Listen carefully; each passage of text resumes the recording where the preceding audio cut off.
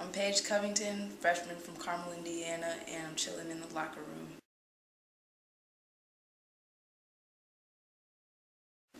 Um, when I got down here, I just felt like it was really diverse. Um, also, there was just a lot more things to do than up in Indiana. You could go to the beach, go to the mall. The shopping's way better down here. Um, most of the time, I just like to be on the computer and Facebook, try to catch up with people from back home.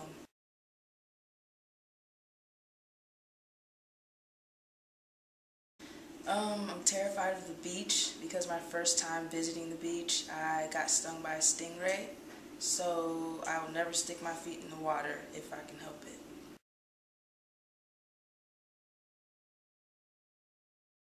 Uh, first, I would give some to my parents, then buy a whole bunch of shoes, um, and then pay for college, and then I'd probably save the rest.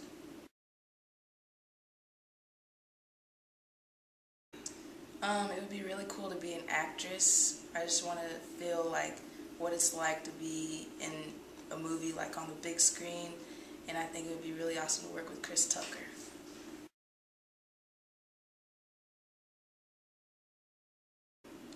Um, actually, all of high school soccer was like really fun for me. Um, we shared a lot of memories and stories, and it was just a blast.